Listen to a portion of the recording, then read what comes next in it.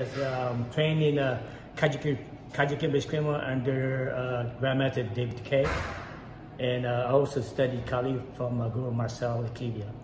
Wow, and, and so uh, how long you been in the martial arts? I've been in martial arts since 1977.